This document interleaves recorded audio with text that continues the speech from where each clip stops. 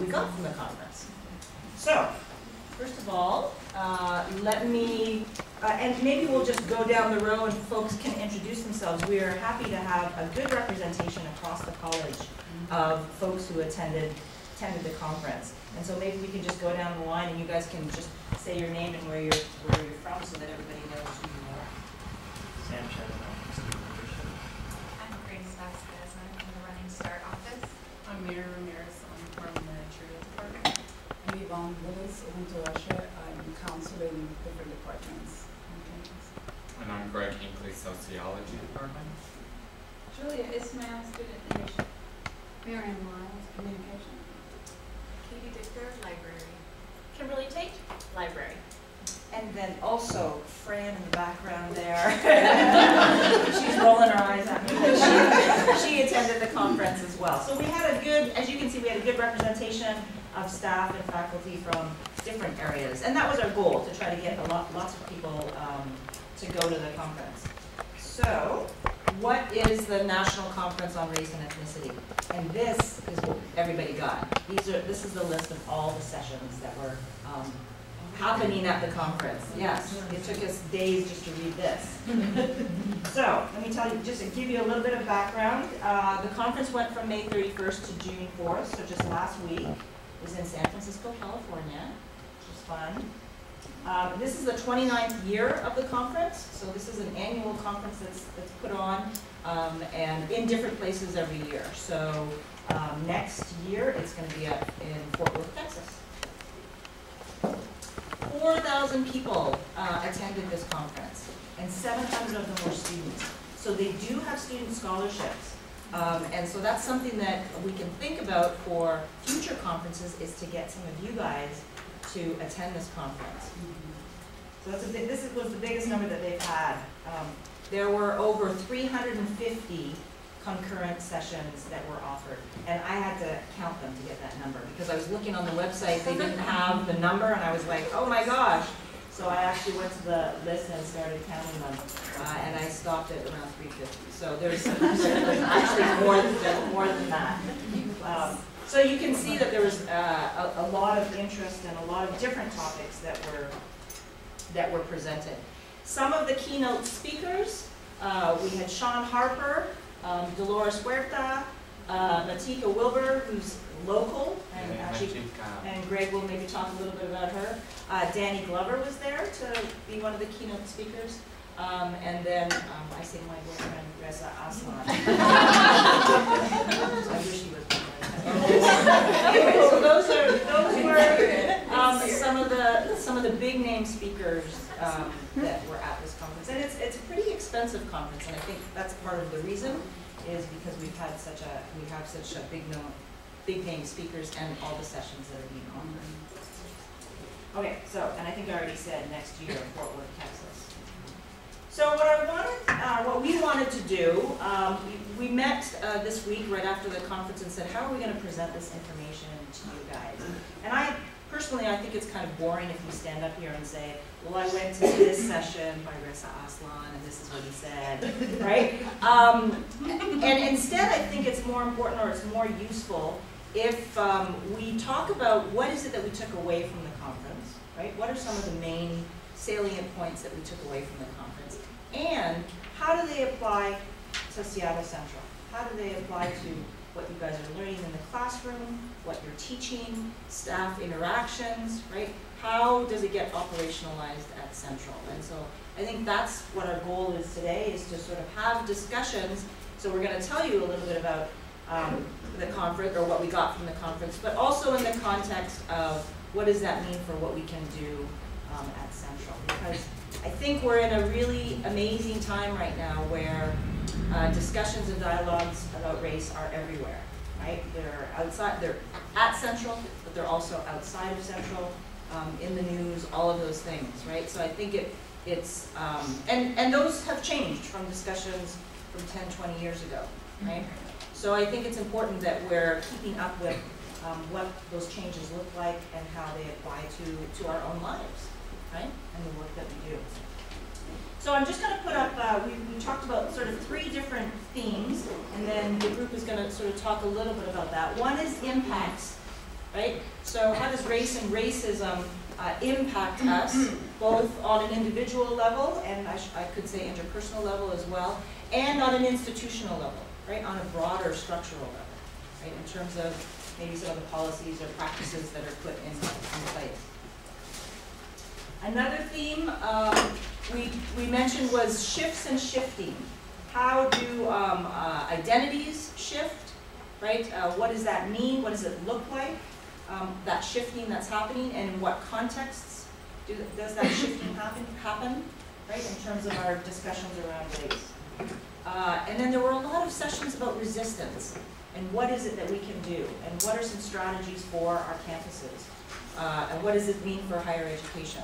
So we do want to talk about that too, and in terms of next steps, because one of the reasons why we all um, were um, able to go to this conference was to come back and say, what is it that we now want to do at Central? How do we want to input, implement some of the learning that we got to strategies that we're, we're going to implement? Okay, so that's my thing. So I think, uh, I don't know how we want to just have, uh, have folks, we can maybe start with the first, uh, first theme and have folks that felt that they went to sessions that pertain to talking about impacts, um, talk about it in the context of, of Central. Anybody wants to start? I'm gonna get mine out the way first, okay? What's that? So I'm gonna get mine out the way. Okay. Um, so a session I went to was, um, stereotype threat. And what stereotype type threat is, um, Stand, Stand stand up. oh my God. I'm experiencing a stereotype threat. Excuse me, could people just, it's- we don't know who everybody is. When you speak, could you just say where you work, uh, your name and where you work? on Mary? Ramirez, I work in the TRIO program. So stereotype threat, it's the threat of a stereotype that impacts your academic performance. So I really like this because I think this is a really easy concept that we already, already know. But how often is this at the forefront when we're working with students or when we're working with ourselves? And this really resonated with me as a professional as well as my own personal self. So, so, so for example, um, when I'm working with students and they come in and they tell me I'm having trouble with math, and you know, my first go-to is, okay, are you utilizing resources? Are you doing tutoring, or are you um, getting with your instructor? Are you doing these things? Like, why is it that you think you're not doing well when um, I think there's more to it than that? Understanding the student's narrative, asking those probing questions. Well, what is your fear really around it? Is it because of this, or is it letting the student really understand that and then challenging those narratives and, and letting them know that they bring value to that? Like, for example, on my way up here, it's so exciting because it's like now that's in my awareness, I'm like, oh, that's what it is, and I see it in my work. Um, a student was telling me, and it was kind of the opposite. She was a she's an African American female. She was taking a voice class, and she when we picked the class out, she was like, I can sing, and I was like, good. And so when she went into the, cl- uh, she just told me that she took a no credit, and because it was because when she went into the class, she just couldn't do it because there was this stereotype that because she was a black woman that she was supposed to have this voice. So what I did with her was real quickly in the hallway, having her reflect on that narrative and, and letting her know that this may not be the same as these other people who have a different background, but that diversity brings value, that identity brings value. Maybe you, you don't sing like them, but maybe you have a little bit of soul, and that's just as good, and that's, that's even better. And you know, really, really challenging that thought. And then lastly, I'll say really quickly, um, I think it really resonated me as a, as a personally because I think of it in terms of, in terms of, um, that my time? Okay. Of my work and how it impacts me. So thinking of my identities, being a, um, a teenage parent who dropped out of high school, who got a GED, and when I'm sitting in on meetings or in these committees with these deans who come from totally different backgrounds, how that impairs me. Like, you know, so just thinking about my own narrative and how it impacts me and my work as a, as a professional. So that's why I really like that. And I think, again, because it's so easy and we understand this already and we know this already, that this will be something really great to be working on on campus, making sure this is part of our awareness and at the forefront when we're dealing with ourselves and then when we're dealing with students.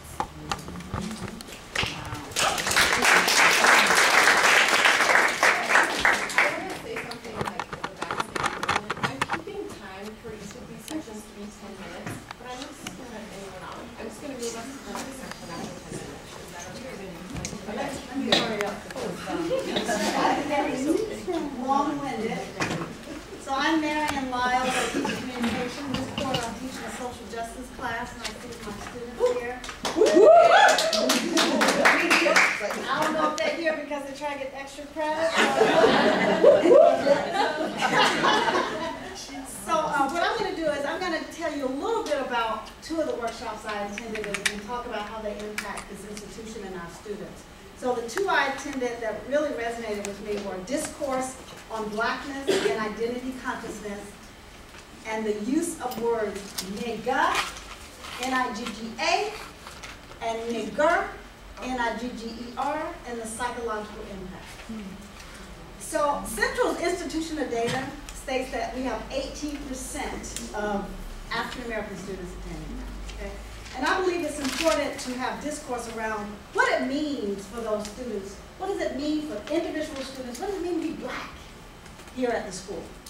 With regard to identity and consciousness or unconsciousness, to better understand their needs and the diversity of students, because not all black people are the same.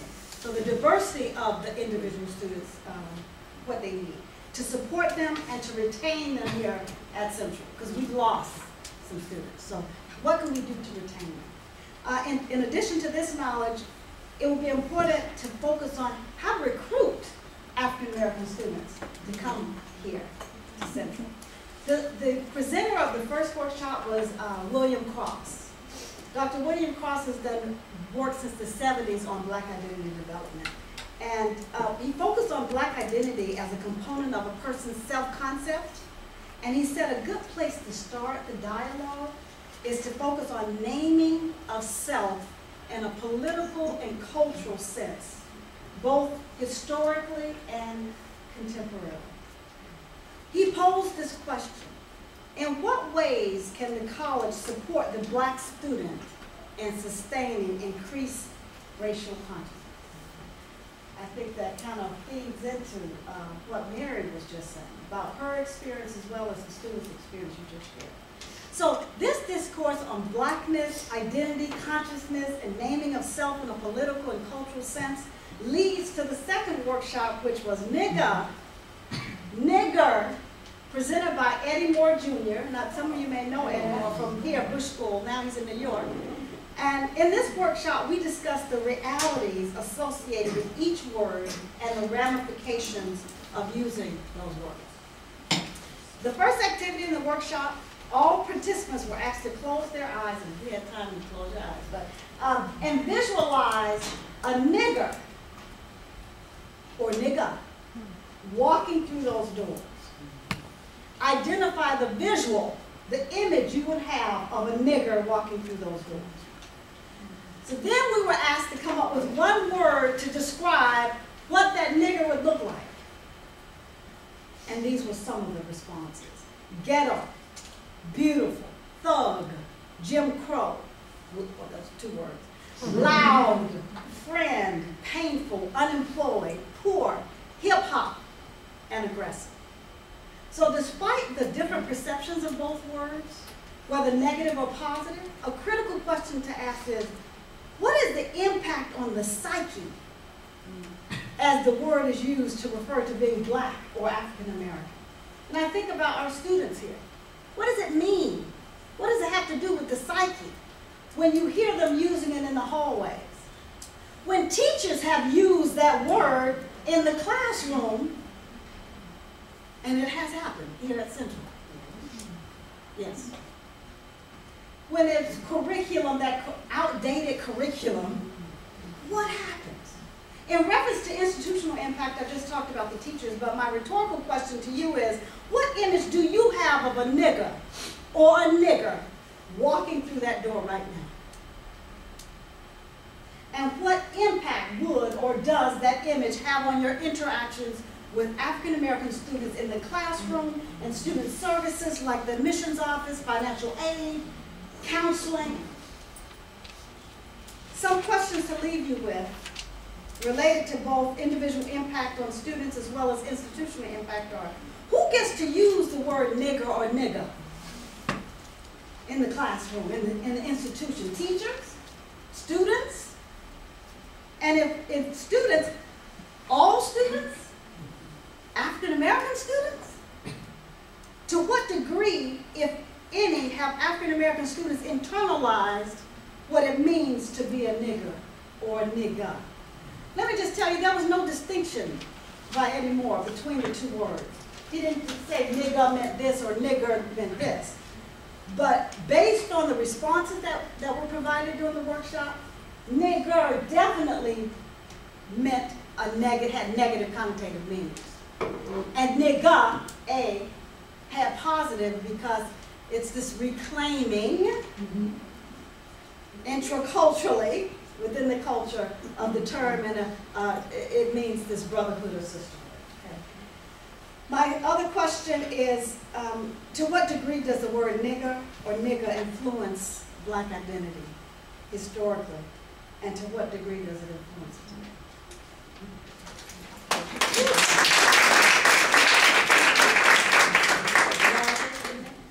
You're over time, that's good. I would like to share. Uh,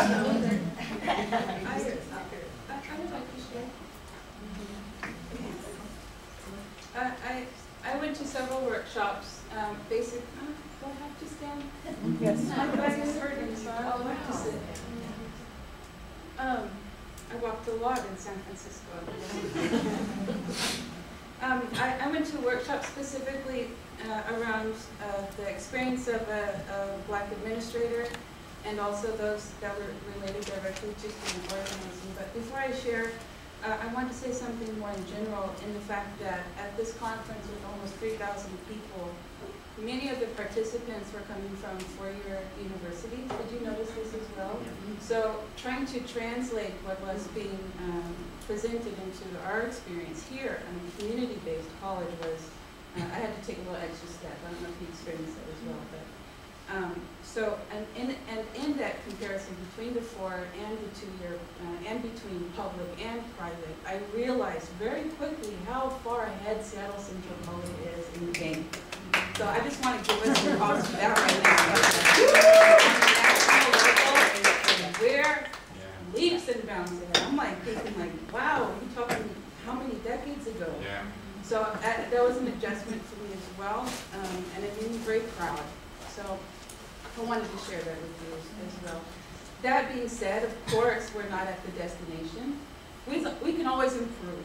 There's always places to improve, but a lot of the foundational work that is uh, a challenge to colleges around the country, just simply, we've already done that.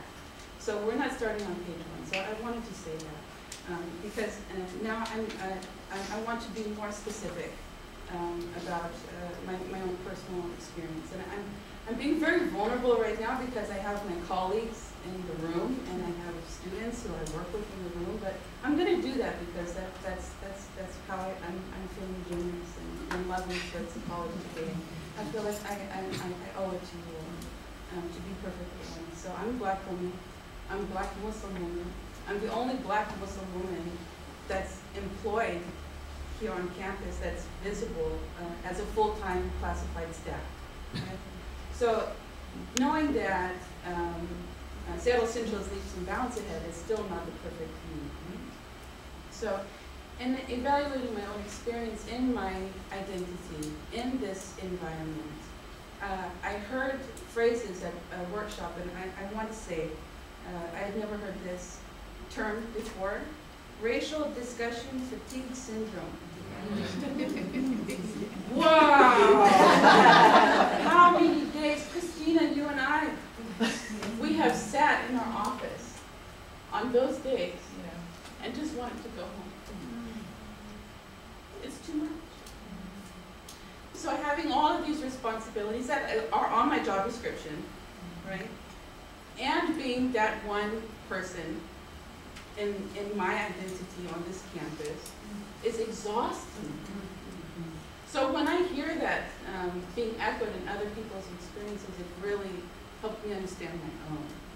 Uh, and that, that need for self-care, yes, I've, I've heard that phrase many times before. uh, and I also understand that uh, students also have the need to heal and care. So there's this balance. And another thing that comes with my identity in this environment, uh, even how progressive we are, there's still things that happen, right? There's an increase in my responsibility. Like I was talking about, I'm also now the, the de facto counselor, right? Those sort of students who come want to, have no one else to talk to about the racial issues in their classroom. Mm-hmm. Yes, nigger is being said in class, hundred percent true. So I, we, we, I have this additional job responsibility that's not on my job description, that I'm not getting paid extra for, that I'm not getting any credit for, right?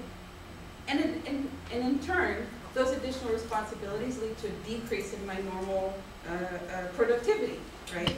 So I'm now having to balance these, these, these, these dual job descriptions while I'm still getting the same pay. Another thing that I, I've been cognizant of, and I, and, and it's one of those things where, as a person of color, you're never hundred percent sure if you're just like being a little like paranoid or if that like really happened. Um, but uh, in certain cases, I, I can definitely point to it and say, yes, it's true that uh, the level of accountability that's required of me to do my job, as opposed to the person who's doing it before me or before me or in the other department doing similar work, when they're white and I'm who I am, my, my level of accountability has increased. And then I'll have to write reports to hear things, reviews, things like this. So I don't know if that happened before I came, but it seems like a little extra than it had. So all of these things are like, they're, they're all playing into my reality when I step, when I step into work. And I know that I'm still on the right side because I still get up in the morning and I love coming to work. And that's because we're Seattle Central. If I was at University of Illinois, oh my God, or, you know, like any of these other universities, I don't know if I could do it. I really don't. So uh, on one side, yes, I see where we can improve. I see where some places in the system can be tweaked and changed. But overall, I came back with a great amount of satisfaction and pride in Seattle Central. So uh, that's, that's my little piece on that. Thank you.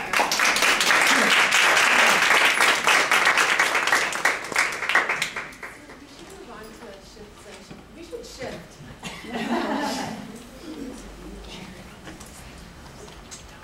I think, uh, I'm Greg, English sociology. Uh, a couple of the shifts that we were kind of talking about, I think for me, and I want to be clear, it was called National, you know, on Race and Ethnicity, but it was not just about race and ethnicity. It was about identity, it really was. Through the lens of race and ethnicity, but I attended some incredibly powerful uh, sessions that talked about terminology within LGBT communities. What, what does it mean to be queer? And how has that changed from 10 years ago? Because the term does not mean the same. Why is it okay to say transsexual, transgender, transgendering, all of these terminologies? And I think one of the real big shifts was that a lot of what we're going through in our personal lives, the academic institution hasn't caught up with. And we're not a very good place to be in the forefront. We're pretty good at reflecting and codifying understanding, but not being in the forefront of teaching about what's happening. And so there was really this shift of, of thinking through how terms and identities get framed within institutions and with our individual kind of experiences. The, the other thing that came through really strong in that for me was also something that I don't think we like to talk about in the institution, and that is there's a huge generational shift happening. And most people in the institution went through our education and were taught very different way of approaching even identity politics. That's so old and outmoded now. And yet that's what's being used still in the classroom. That's how we're approaching issues. Even faculty and staff kinds of conversations are being used in what we're comfortable with. And I think for me, one of the most powerful uh, sessions that really talked about shifting was a session that um, was made up of a mother and daughter. And it was based on conversations the daughter had to have with her mother and trying to get her to use uh, different kinds of pronouns. She wanted to use they, them pronouns, not her pronouns. And her mother was in academia and thought this was a bunch of bogus to begin with. And so she was joking, there was all these conversations, and her daughter would get frustrated, and then she was like, You're just too young, you don't know what you're doing yet. Anyway, these conversations, and it was through learning how to respect and listen to each other that through the last five years, they really had this powerful relationship. So what they actually did was brought in lots of different people that were willing to talk about um, how do we have this shifts going on within our society but still respect what one generation has learned and bring that into the next generation. And I think for me that what was most insightful at that moment is something that I think we all can think a little bit about, and is that education for people of color does not mean the same today as it did even 10 years ago. 10 years ago, we could say if you had an education, you were better off. People of color can no longer say that. That is not the case across the board. You cannot say if you have an education, you're going to be better off. And to have that translated from one generation who was so ingrained in this ideology that you needed to go to college mm-hmm. to another generation that says it's killing us to go to college. It's destroying our identity. And I think those were the powerful shifts that were happening and they were starting to have those conversations. I hope, and I think we all did up on here, really hope that those were the areas we could explore more as a college even here and looking at that. Um, I also want to kind of echo a little bit, but you said one of the things personally for me that was a huge shift that was amazing is I got to interact with people that our institution kind of silos us away from. I mean, I know Marion, I know Kayleen, we teach. I do not get to interact with Mary very often. I don't get to interact with Yvonne very often. This was an amazing opportunity to actually hear what's going on in other areas, to actually feel like a community, you know. And so often here, we, we, unless it's really a struggle, we don't have that opportunity to be a true community. And I think this allowed us a sense to, to kind of be that or find that, that true community. So that's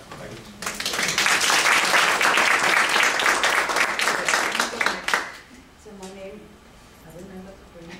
I'm so proud of myself because I usually do this. Um, but it's Ofontolashe, and I'm a counselor here, uh, part-time filling in usually. And I am more holistic, so I will talk about different points, and I'm trying to do that quickly too. Uh, and then I also want to do some more about shifting as well, talk a little bit more about shifting. So what I really got out of it, first of all, also as Greg was saying, just to have the alliance of the group of people that we usually don't uh, hang out with was really beautiful. And to have that opportunity, and even as a part-timer, usually a part-time, I'm like, no, I'm not gonna ask for some extra, you know?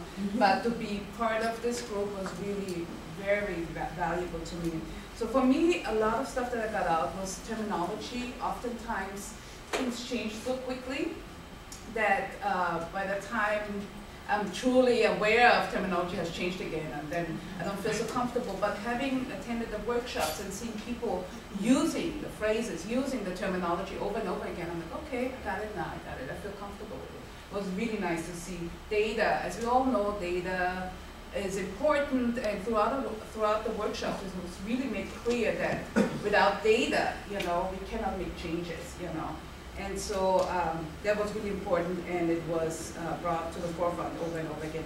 Leadership, that was extremely powerful for me to see students not only attending, but diverse students leading workshops and doing a fabulous job.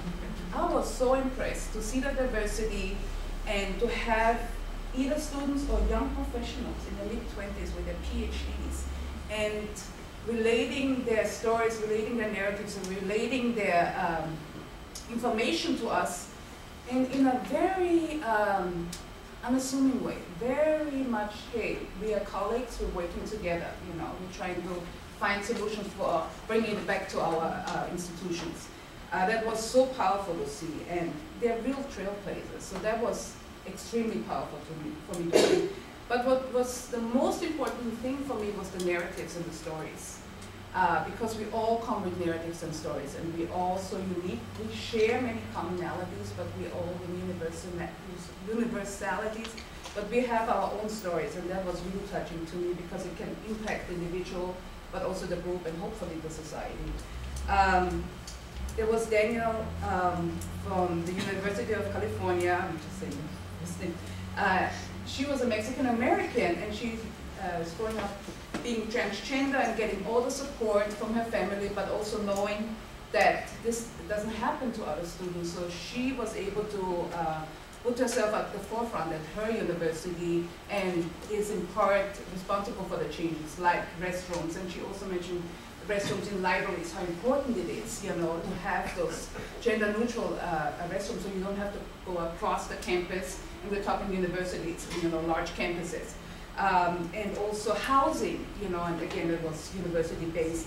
But uh, one was really important, and there was the um, referred names in the systems, and they were in the process. A lot of students, uh, a lot of the speakers said so, and then also attendees said that their institution is in the process of doing that, that they can do it online, and so they don't have to run into difficulties, and the faculty doesn't know, and it's awkward, and so on. Uh, there were very great narratives. Some other ones, I attended a workshop on identity, forgot the whole name, yellow, brown, black, and forgot it, but research leaders, PhD, uh, people that have based their research based on their own story, on the story of their children, on the story that hasn't been told, for instance, uh, red and yellow, black and brown, researching mixed race experiences that descended whiteness. So that was really powerful because again, there were young professionals in their 20s, 30s. They have based their research based on their own experience, and that's where the narrative comes in. If you don't talk about it, if you don't make it a data, if you don't put it out there, it doesn't exist. And one was talking about the relationship and the intermarriage of Filipinos and Mexicans, and that there was no data. And he spent like, I think, 11 years coming up with a book and putting it out there, you know, there's so much more need that needs to be done. As a counselor here, I, am always aware about narratives and stories, but sometimes I don't fully express my own and how important that is. So I think um, it is my hope to inspire others, and I think we have made some changes in terms of hiring, certain representation on campus, and uh, having diversity throughout the campus, not in certain areas, you know, or the, certain people in certain places, but throughout. And I'm talking all types of diversity. So that's really important, and then you can share that narrative, and you have almost, it's not just okay to share it, but you have the responsibility to share it. Because you make your, you have your place in this world, and it's really important. And I love what Danny Glover said, he says, we spend a great deal to find a place in the system rather than challenging the system. And that's what we all need to do, challenge it, make sure our word, uh, our word and our voice and our identity is heard and has a place.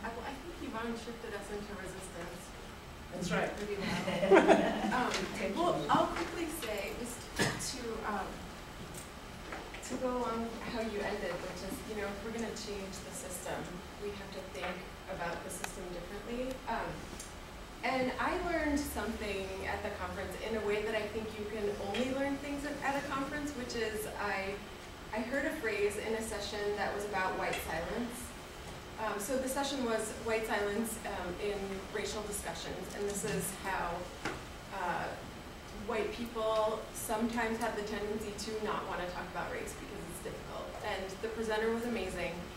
And I'm not going to talk a lot about that, but I'll say one thing is that she, um, I heard her say something about the master's tools and the master's house. And I don't know, I, I didn't really understand the context of what she was saying. But the, who has heard this before? Yeah. So it was new to me, and I stepped out of the session and ran into Kayleen and Sam.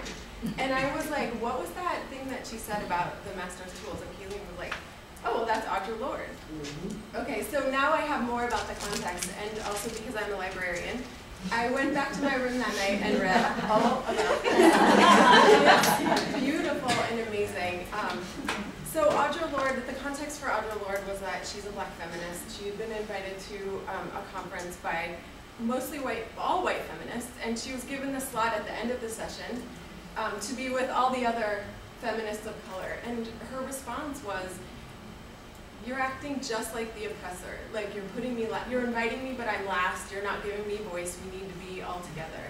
And the way that she phrased that was, you can't, you're using the master's tools. Or um, her words exactly are, for the master's tools will never dismantle the master's house. So, um, what is the master's house in our context, I think, is the question. Is the, is the entire college the master's house? Probably. So, are we continuing to use the same tools to try to dismantle oppression and misuse power um, within our context? And if the answer is yes, how do we change that and use different tools? Yeah, and there's a lot more to say about that. I really encourage you to read this. It's not long and it's so amazing and beautiful.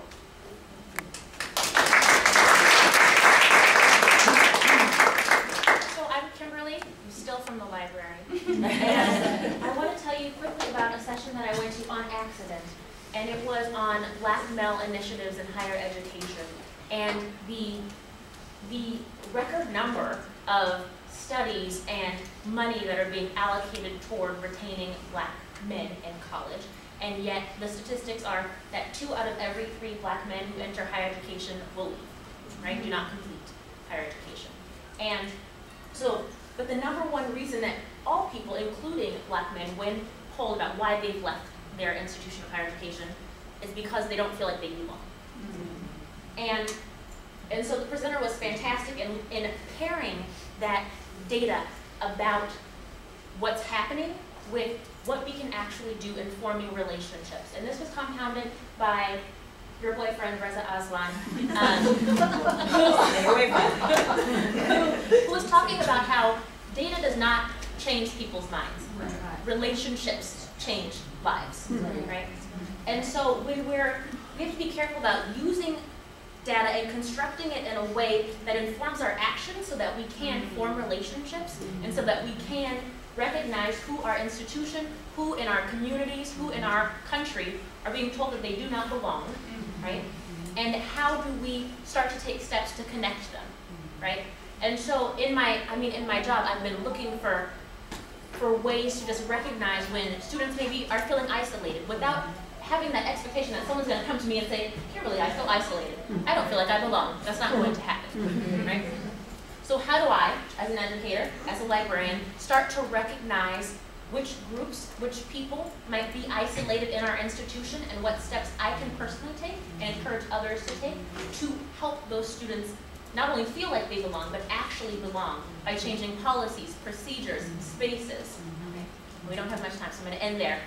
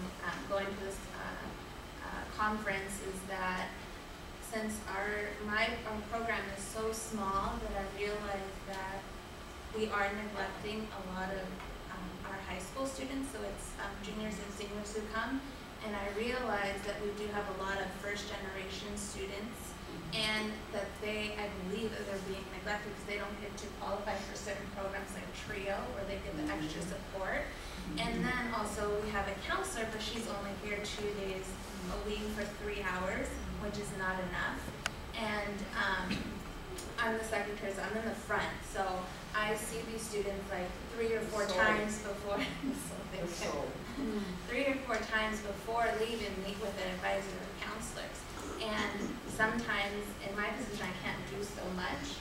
Um, but I realize now that I need to voice, excuse me, I'm getting almost sick, um, my, our opinions that we need more, um, resources for our students to like management and upper, um, management as well. And that's what I'm taking away and gonna follow through with.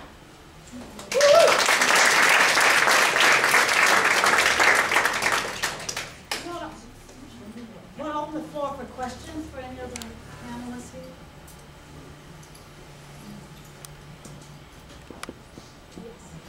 Well, I want to ask, this was wonderful, of course, thank you.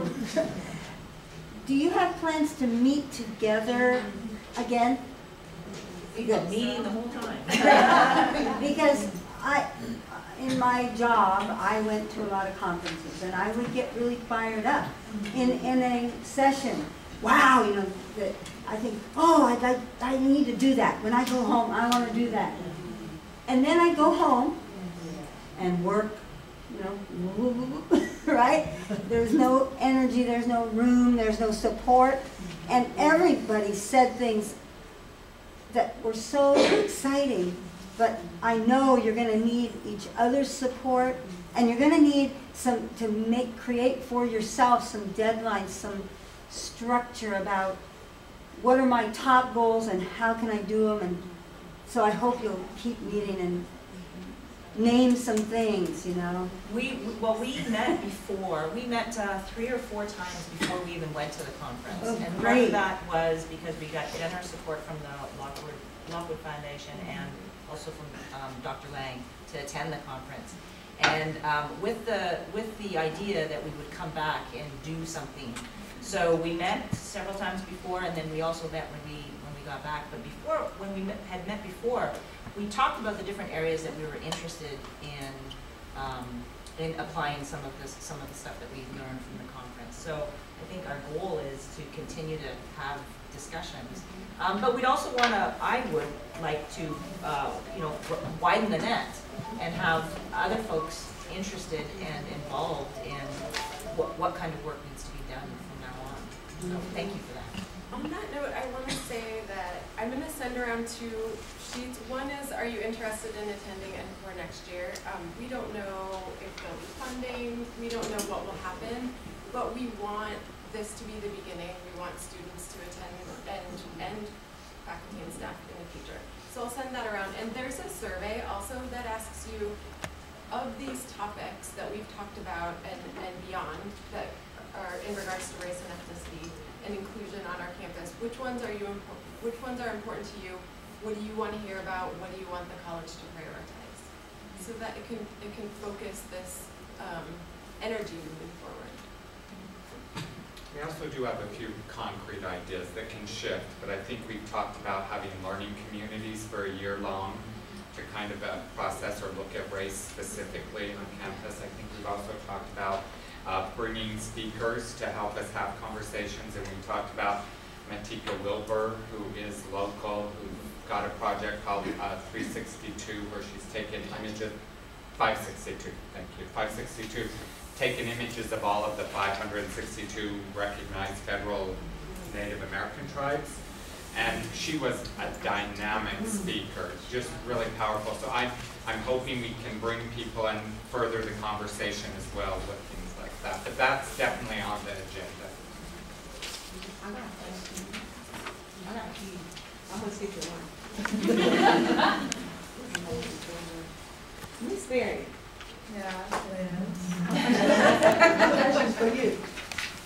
Yeah. Did he give you, um, like suggestion, um, ways of like, um, not like replacing the word with something else or ways to like, cause I say that word a lot. Me and my friends say it a lot. And we don't see anything negative about it. Now, if it comes out somebody else's mouth, that is negative.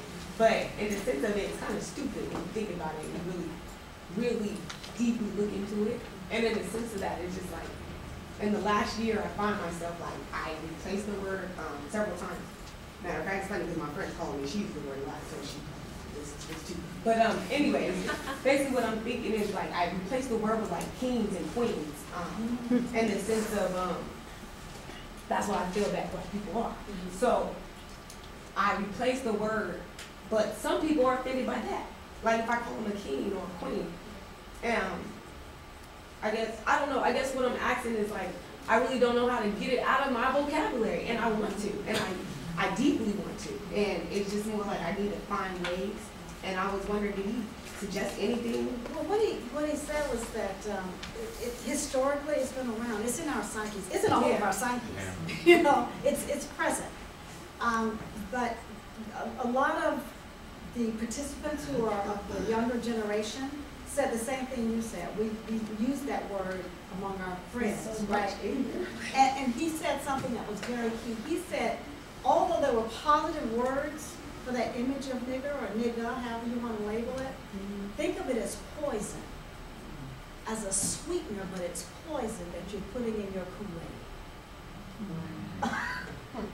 It's positive, it's sweet, right? But overall, it's poison. But it's poison, Exactly. and it's destroying us. And it does, like, yeah, Yeah. I definitely agree. Mm-hmm. Other questions, comments? Or does anybody want to share what they feel um, is important and central, central I work? I have a, a comment and it's a request also, and that is that we could do another COSI together next quarter in the fall. And all of you come and we actually have a discussion, um, about the things that you brought up, Um,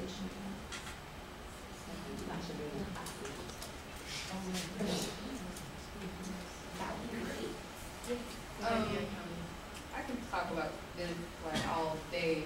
Um, so I, I went to a conference as well, and it was a student panel. Um, and it was basically about the experiences of African Americans at predominantly white institutions and how it ends up becoming survival. You know, I mean, think about it. You're there to get an education, and you also are literally surviving through your education.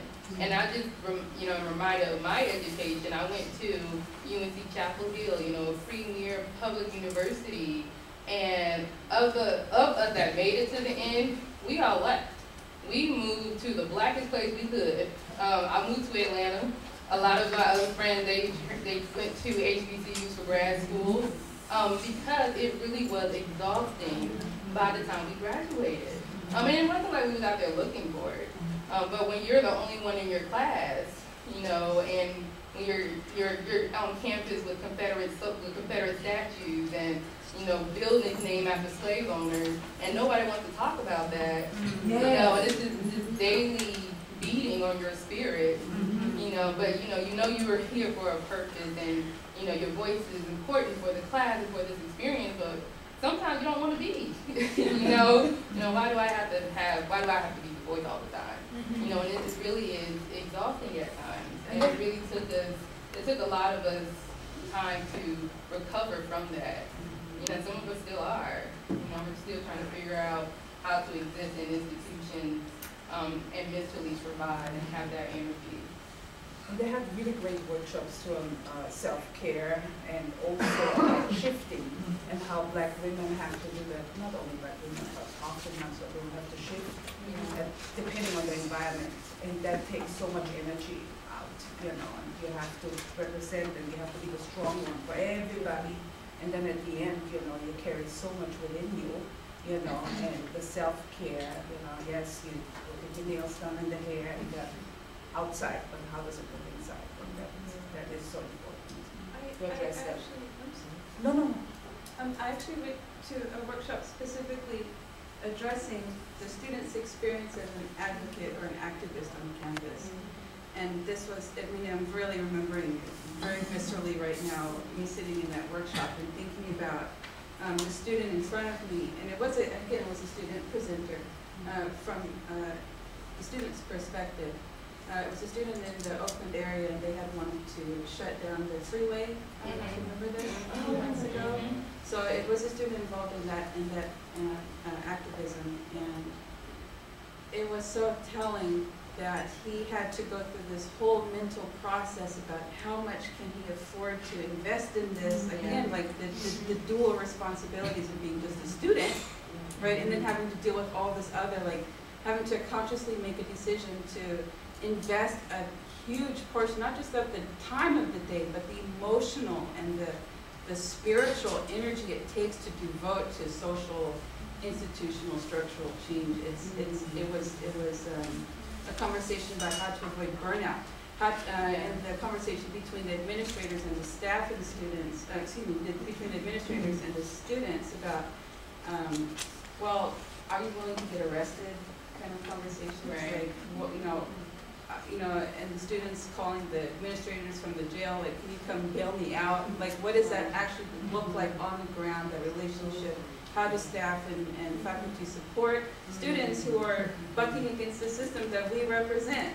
So, uh, it, it, it's like this, it's this, it's this constant tug and pull between how much can we afford to invest in change?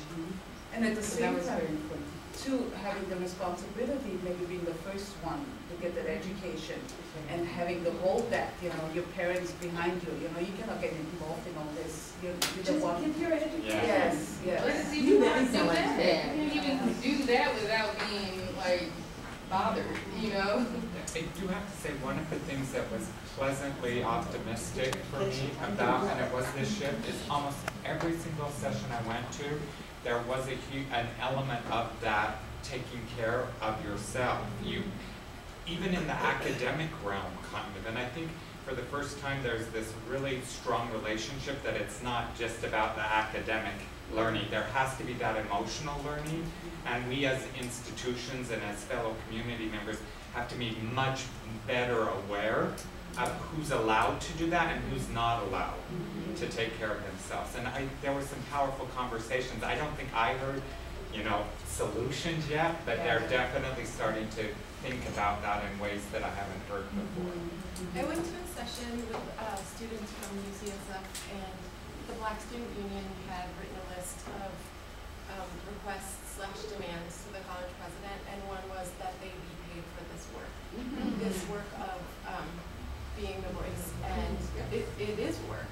And it was a, a radical piece of their requests.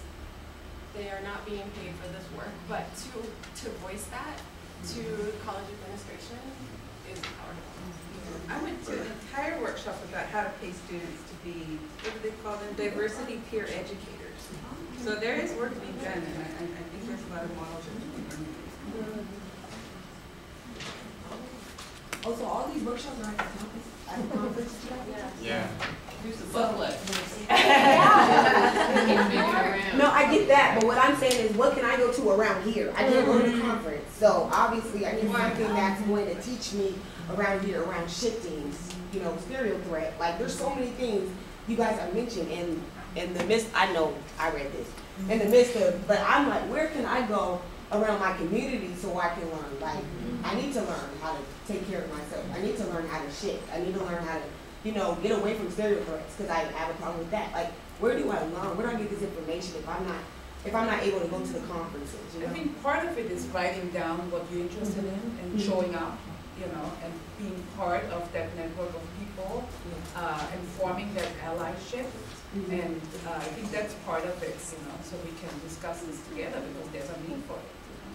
There's, there, there's a couple things I would suggest. What? Um, one is, uh, there, there's more formal setting, this conference where you sit in a room and there's PowerPoint and you're taking notes, things like this is very intellectual based, communication organization. There's one in Seattle, it's annual, it's called the RACE Conference.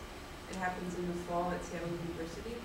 Um, please don't give me information, I'll show you. what it is. I definitely Yeah, okay, all right. Yeah, definitely come see Uh, and there's that, and there's, there's also a lot of other, um, uh, facilitators and uh, workshops that happen throughout the year, just, uh. in- Yeah, I just want all, everything I can get my hands on, right. give it to me. So that, that's, that's one side of my suggestion. The other side of my suggestion is, uh, to and I, I'm, I'm, I'm just speaking for myself and what's been beneficial to me is finding spaces, um, that are, uh, I mean, for me, it's black space, right, because I'm black and that's how I identify. So I have, I've, I've purposefully sought out places where I can feel a hundred percent at home and welcome and comfortable and confident to talk about my reality.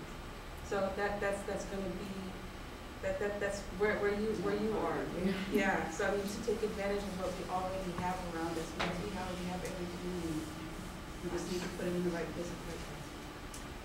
I'm curious to know, what were the intended outcomes of your attendance at this conference? Um, does the school, um, I guess, give you the power to talk to other staff members and to maybe come up with best practices to implement into the culture of the school? I think we're assuming they do. Um, Not only that, is one of our mission is actually, that we're supposed to be working on this year is diversity. I think our strategic plan now talks about removing uh, institutional racism. That's in the strategic plan. So I mean, I think even if we didn't attend the conference, we've got this incredible, at least backing in a way.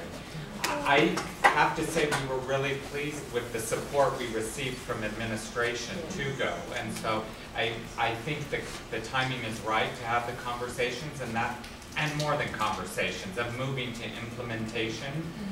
But I think we're in that process of wanting to mm. make sure we feel very inclusive in this and that people voice some of the ideas. So as we choose to move in directions, it's what we as a group or a community have decided to do.